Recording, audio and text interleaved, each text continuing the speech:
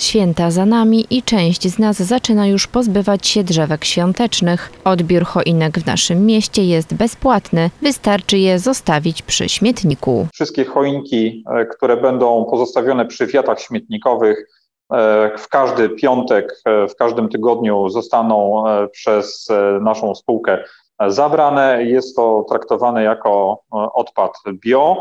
E, ważne jest, żeby pozbawić choinkę wszelkich ozdób plastikowych, metalowych, papierowych. E, to, ten odpad musi być czysty. Ważne jest, żeby ta choinka znalazła się przy wiacie śmietnikowej. Jeżeli przed piątkiem pod wiatami uzbiera się większa ilość choinek, mieszkańcy mogą to zgłosić do Urzędu Miasta. Wtedy oczywiście powiadomimy e, spółkę i, i choinki zostaną odebrane wcześniej.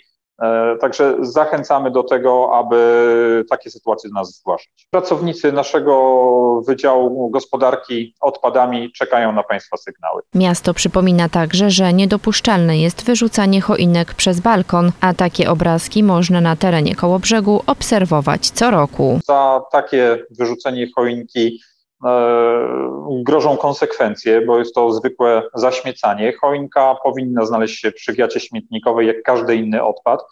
E, tutaj wszystko zależy od terenu, na, na jakim to się dzieje.